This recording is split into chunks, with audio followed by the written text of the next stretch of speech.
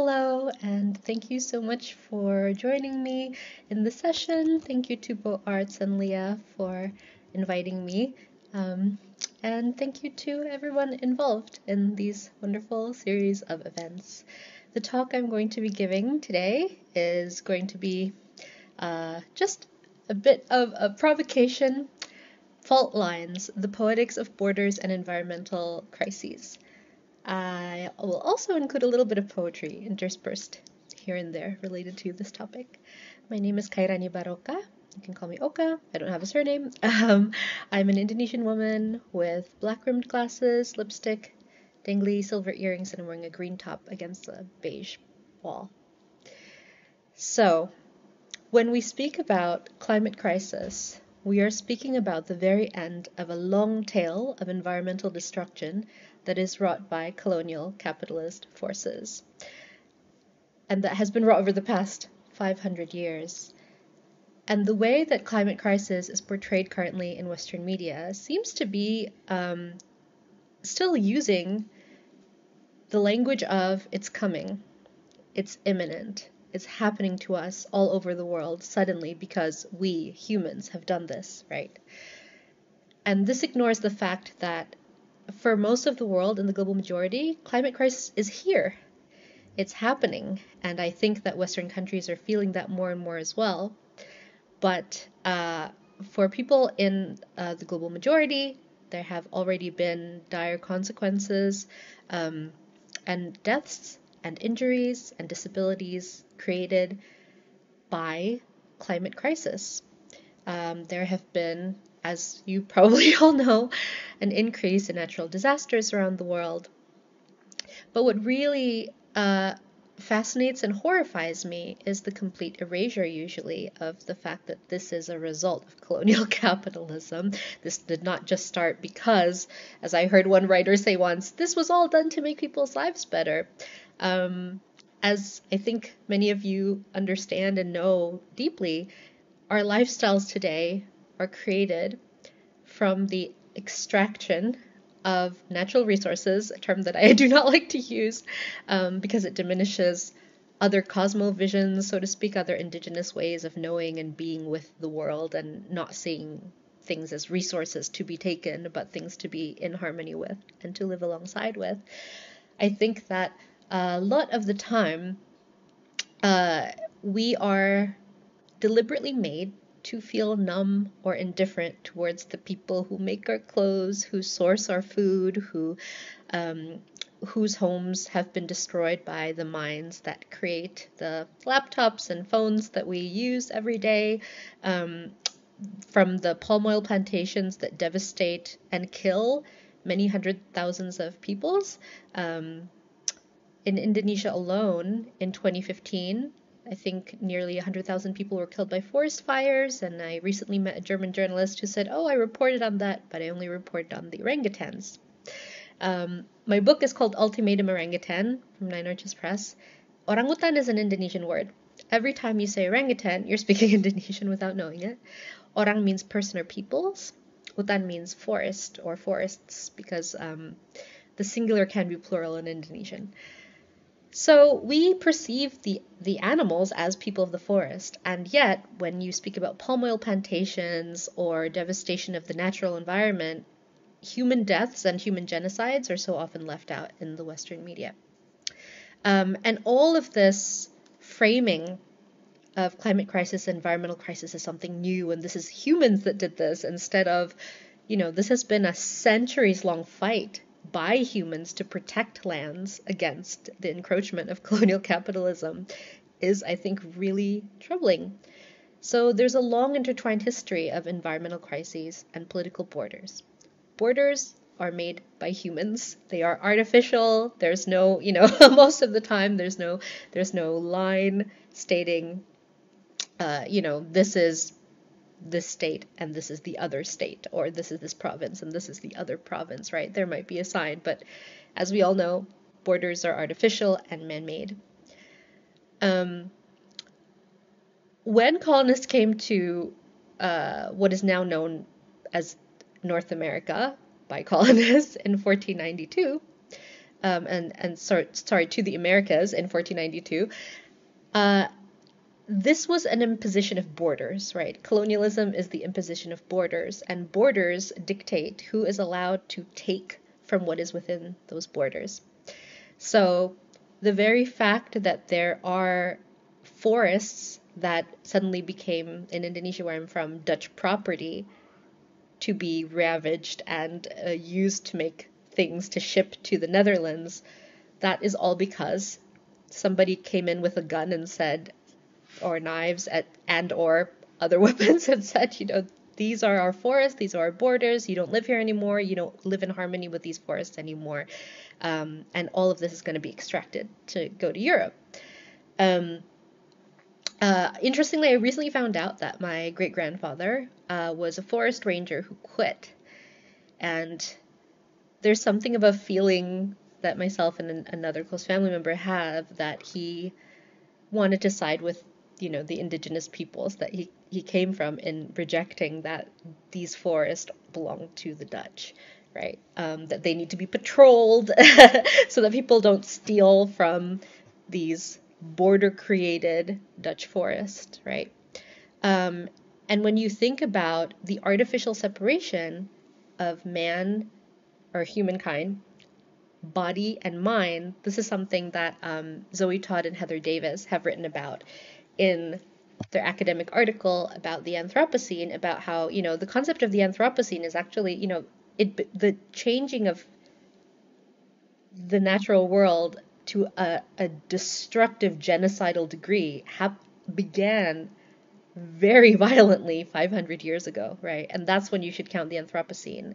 I think in Western media, Anthropocene only over the past 100 years since the Industrial Revolution. And it's like, no, you know, people understood the cost of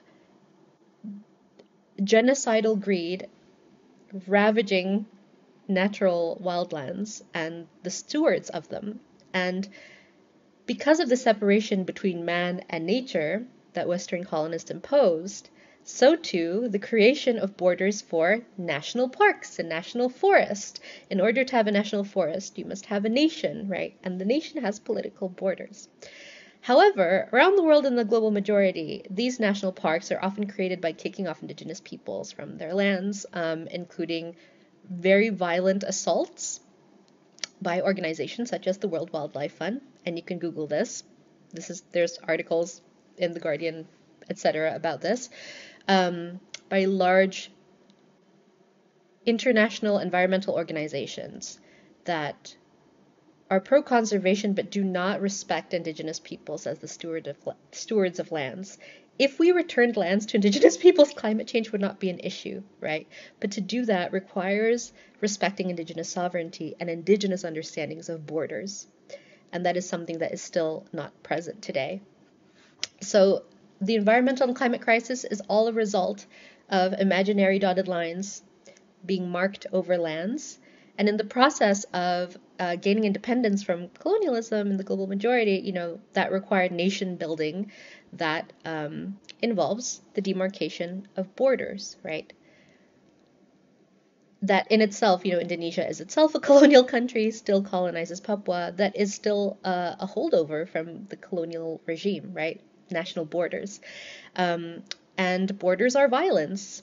If you think about the borders that you are within right now, um, your visa status, your if you're a migrant like myself, you know, your passport status, this allows you to go in between nation states that have demarcated borders as a holdover from colonialism.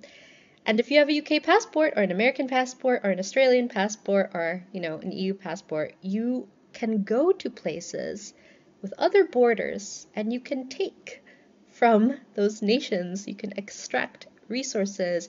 You can be tourists uh, with a resort in a private beach that once belonged to the public. Right? So, who gets to partake and enter which borders is obviously extremely political. And when you think about the fact that um, is by definition, you know, that is what politics is. And and if you think about the fact that the U.S. military is the largest non-corporate polluter in the world, people tend to not think about that when they think about climate change, but really, this whole genocidal machine needs to be brought down in order to stop climate change because it is creating enormous suffering around the world and has been. You know, you take places that have been deeply heavily extracted from and now have multinational corporations coming in, poisoning waters, um, pesticides, uh, mercury poisoning from mine tailings. All of this has been happening and happening and happening. Um, the end of the world has already happened, or in terms of, you know, its imminent presence, deleting attempts to delete your cosmovision and your way of life and your language and your relationship to what is known as nature, right? Um, the Nigerian philosopher Bayo Akomolafe says that, you know, um, there was no such word as nature in, in his culture, right? This is a trees have rights, water has rights. In Bali, water definitely has rights. You know, there's like they work on five calendars in Bali, the agricultural system, which is something um, I've learned from, you know, friends and, and colleagues. And this is this cannot be solved by somebody going to, you know, get a master's in natural resources management and saying this is how you organize nature, right? That is also an issue because the Western modernity uh, paradigm is always jonesing to make things fixed, to name things, to make things fixed, to put things in borders of categories and saying this is universal. The universal does not exist, right? Every single biome and hundreds of thousands of different ways of relating to the natural world rely on so many different cosmologies and religions and understandings and philosophies and mathematics that um, Western colonial understandings cannot possibly comprehend and should not go in and say this is how you do things, especially since, you know, Bretton Woods institutions like the IMF and the World Bank have been asking countries from the global majority to cut private, um, to cut public services and become more corporate, become more capitalist. Um, this is all a result of saying, this is your country now, or this is our country now, and this is how we're going to delineate nature.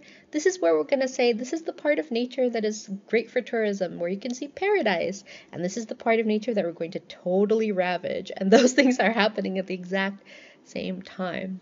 So, how do we map a resistance of bodily poetics, groundedness, and radical solidarities? What we can control and what we can't. Each of us is just one tiny human being on this planet, and it can be, I know, speaking personally, and I know for many others, extremely overwhelming to think about environmental crisis and climate crisis. But indigenous peoples have been resisting this for hundreds of years.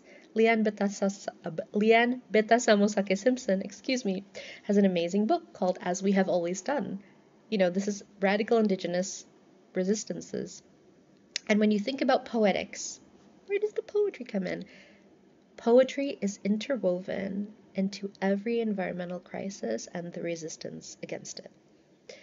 Because in the song stories that people tell about nature, with the names of plants and animals, in um, rituals and traditions, in just language and indigenous languages are disappearing at an alarming rate. These are all poetries. And environmental crises are, crises, are crises of the destruction of poetries. And the resistance against that also lies in poetries. And these may not always be public, you know, because of surveillance um, from the state. Uh, resistance against environmental crises and climate crises is not often doesn't have, you know, an Instagram or a Twitter but it lies in, in indigenous peoples getting together and, as we've always done, resisting in some form. So there's collectivity, collectivity in poetics. Um, I find uh, Western poetry traditions to be, which you know I engage in, I participate in, and I love very much.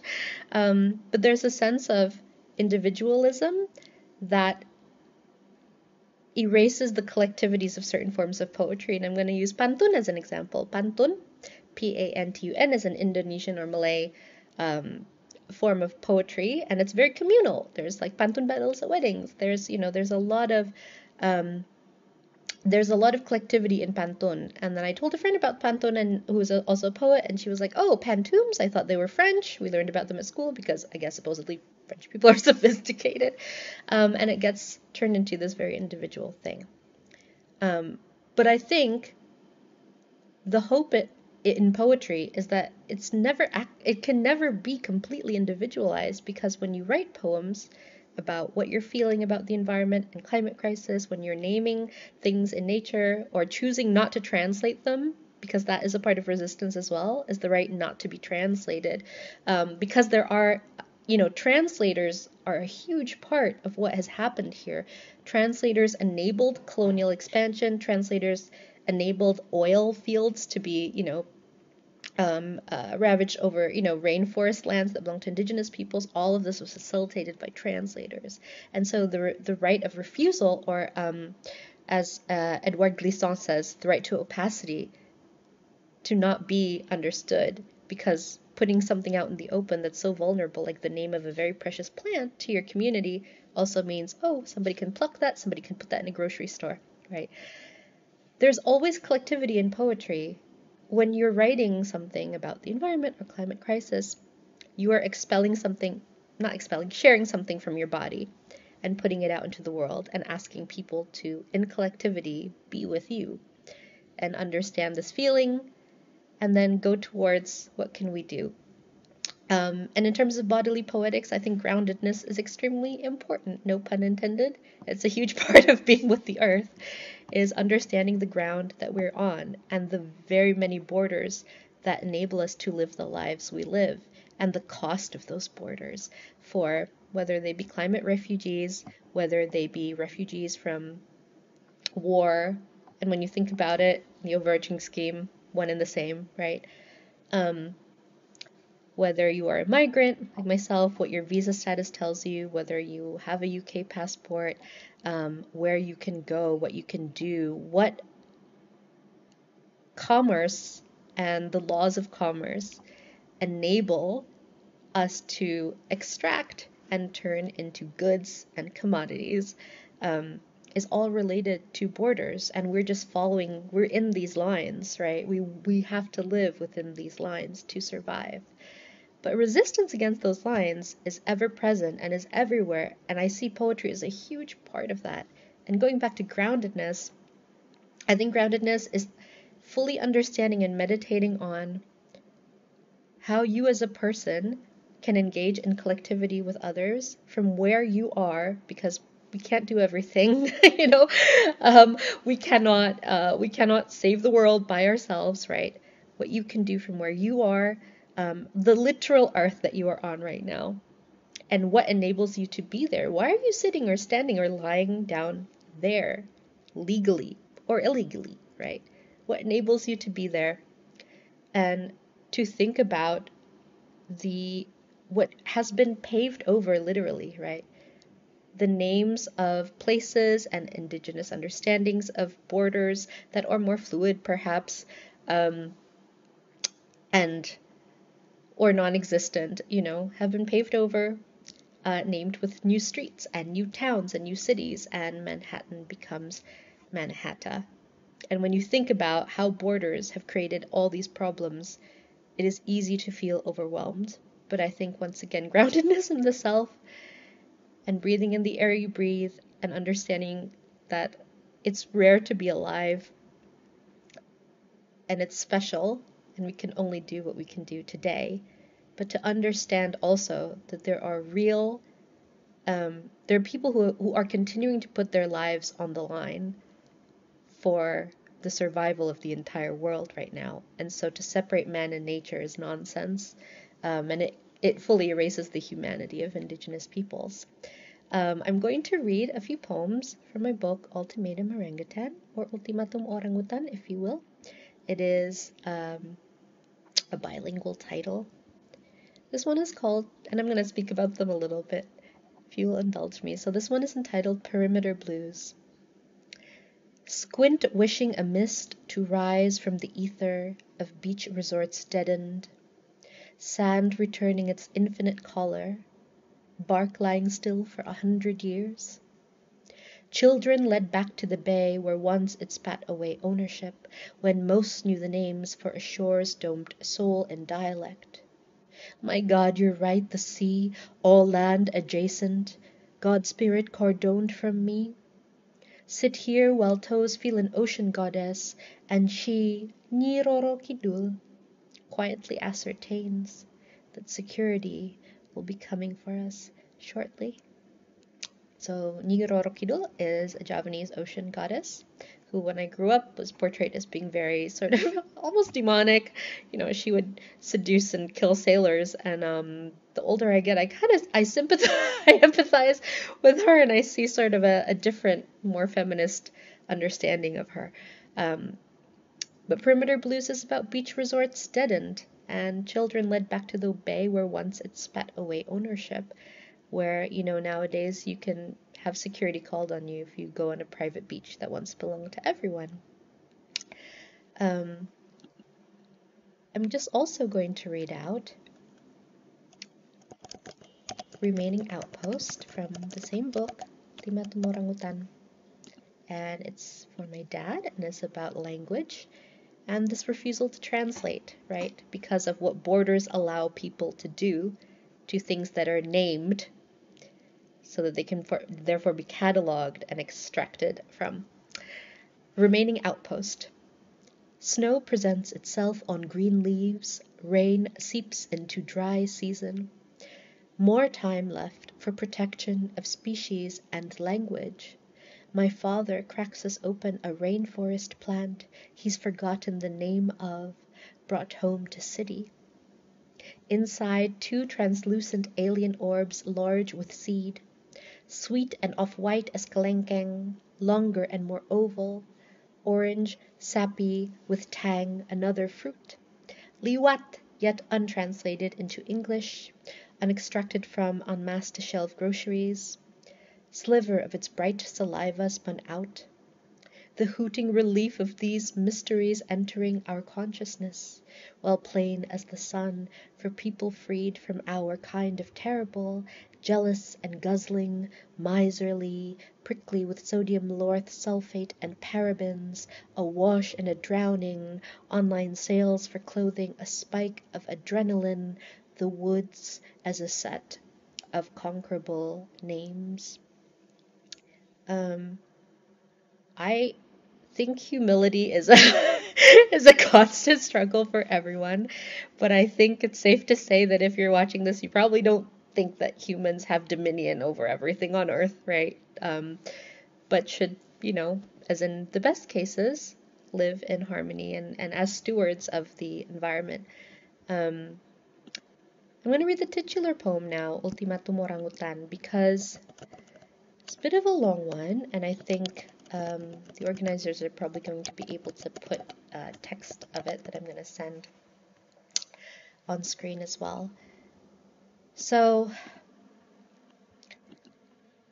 I wrote this because I've been I was thinking so much about um, this word orangutan or persons or peoples of the forest. And I think about what led to this horrific environmental destruction in Indonesia um, that is now continuing in the form of, you know, bogus carbon credit schemes, which, if you don't know, are really and provably um, schemes for companies to say, oh, I can pollute here because I bought this rainforest part over here, right? It doesn't solve the issue. Return land to indigenous peoples. That's it is so simple the solution to climate change. It's been proven that if you return land to indigenous peoples as stewards, um, we can really take care of the environment. But again, borders, right? And again, dictates from World Economic Forum or what have you about how to manage your natural resources and how to enable the grinding wheels of capital to continue in the form of commodifying carbon credits and biodiversity credits and basically, you know, saying, "Oh, it's okay if you pollute here," and and it's it is land theft. It is land theft, and um, land theft continues to be at the root of all environmental crises. So I was thinking about this. I was thinking about orangutans and that word. So this is the poem. Ultimatum orangutan. The original King Kong story was set on an island of Sumatra, perhaps Nias. So this is twisted phobia of what is now Indonesian man and fear of his usurping of his big hairy hands on a blonde ingenue on the needle of white capitalism the Empire State Building. I understand visual chimp language. I know what KK was trying to say in every edition of that film.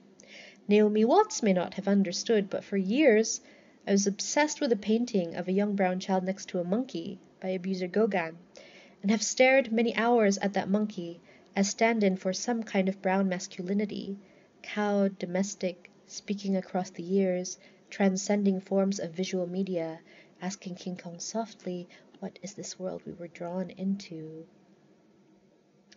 So this next part, um, there was a fake coup in 1965 to 66 uh, that was created and armed by Western forces, including the UK and the US, that caused a genocide in Indonesia of up to two and a half million people, including the genocide of many feminists, um, the slander of many feminists. Indonesia had the world's largest feminist movement in the 60s until feminists were literally killed. Um, and again, this is a genocide supported by Western forces as part of anti communist Cold War tactics. But the people who died, you know, were people. They, they made a hit list, and that hit list became inflamed and turned into a gigantic cesspool of murder. Um, and these murders were created in order to enable borders of land to be thieved for capitalism. that is why people were killed. That is specifically why people were killed. Um, and this continues to this day. Uh, but I don't think in the West uh, enough people know about the genocide. And usually, when it is portrayed, um, my colleague Intan Paramaditha has an amazing academic article. She's a film studies scholar about how there's usually like this trope of discovery of like, we discovered the Indonesian genocide. You know, usually by white men um, that portray it in a very sort of uh, strangely, you know, um, Orientalist and uh, violence porn kind of gaze. But this is my perspective coming up, continuing this poem as somebody who grew up in the dictatorship that was, you know, began at the start of that genocide. I'll tell you, small animal, a world where, for decades, small children under a red and white sigil were lullabied. Women's rights and labor organizers were sadists, did unspeakable things dancing sexily in their communist gear, killed the generals like animals. Instead of being told, generals organized, a genocide of people suspected of communism, likely millions of people ended, who were simply feared of usurping, remember the film, rounded up for no master other than bloodthirst, gentle artist among them who drew their last in 1965-66. Rewind, perhaps not no master. Ultimately, nobody's real uncle by the name of Sam sanctioned slash planned all of this to open up lands, with giant forklift hands letting millions of bodies fall to the ground, as it was all lifted into another country entirely. People's homes and cosmologies in rainforest, lifted and dropped into the laps of people who cannot pronounce us, and only the most powerful of those who can, who claim to be of us. And so many wrestled this machinery, with lives paid for for so very long. Marsinah had twenty-four, are many of stealth, but the sigil fist, but the red and white, the red and white and blue, it caved us and caved us and caved us. Many forced to drink from it, and many said tidak, no. And every year, G30S, 30th September, they'd show the violent film recreating supposed mutiny, images of blood that snapped our childhoods in two. When I speak to people about palm oil plantations, this devastation of Papuans, Dayak Padang et al., invariably the words palm oil make them think of orangutans. We need to save them. I found myself thinking orangutans and so many peoples as well, but this phrase does not fit well on campaigns against palm oil. And whenever I see a billboard with an orangutan on it campaigning against palm oil, I say yes. I say, is this what it takes? And always I say, and so many peoples as well. Is it any coincidence that King Kong shown up so much with animals extinct rising again? Brontosaurus, Triceratops, Tyrannosaurus. Other twisted notions of the other crafted into scales and claw. And I think about a child so small, so sad, fearful to breathe from all the blood in the air, adult nightmares seeping into her sky and her books and her friends. And just now I remember being her, am being her, and I'm thinking about Donkey Kong as a Super Smash Bros. character and what color the thread is between the child and the pixelated animal who pounds the earth and a piece of electronics made with metals forged from this earth, and all through the making of these things, the monkey on screen, the small sad girl, and the screen she refused to open her eyes for futilely as the story would seep into the school days of her and her friends. There are our words communicating to all the sentient fellow beings who were placed on this earth gingerly and asked to go forth in it, as though this were not a thing, as though this very act of going forth did not require a shipful of warm glow around us in order to survive, and how we wish for this freight cargo every day, creating it, preserving it with oral literatures they can't touch or feel, with herbal medicines we try to protect from pharmaceutical gloves. With every day a ticking towards the end of glowing, the end of holding another. Who could be person, who could be old growth rainforest, who could be King Kong and his tears, who could be Papuan men writing white letters on themselves in jail to display for their trial at which they are accused of treason against Indonesia that say monyet, which means monkey which is what evil in some calls good in others, when it wants to let us know this earth is taken in their movie of the present. When the earth is yours, it is yours, yours, yours, dear protesters, Merauke to Sabang, tears when in courtrooms, when witnessed by none is yours, glory humans, yours, my dear sayang, semuanya, all dear Lord, ya Tuhan tanganmu, your hands tanganmu, your earth milikmu are yours. Setiap hari, each day, nafas breath adalah doa is a prayer yang mengungkapkan which conveys ultimatum kami semua persetan, ultimatum ultimata from all of us, damn it all, dari semua manusia yang muak dan bergelora dalam amarah, yang masih bisa tertawa antara sesama setiap saat, from all humans who are sick of it and are reveling in rage, who can still any time laugh among ourselves dan juga ultimatum dari semua yang mereka bakar. And also ultimatum ultimata from all they burned, burned will burn. Juga dari orang hutan. Also from orangutans. Thank you. Um, so if I will leave you with anything, it is with once again thank you to Bow Arts and Leah and everyone who is watching this. And to say that there is hope in poetics, there's hope in poetry. Um, all the many, many, many, many countless poems that have been written over hundreds of years, and songs and storytelling that resist borders, that resist the way we are told we are separate from nature, that resist the way we are told that our ways of life do not matter, um, that we are destined for extinction. There has been resistance for all these hundreds of years, and that lies in poetics, and poetry is something that borders um, cannot completely take hold over. So thank you.